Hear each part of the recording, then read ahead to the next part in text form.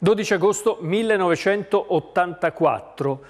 Giovanni Paolo II, oggi santo, venne a Fano per incontrare i pescatori, per incontrare i marinai della nostra città.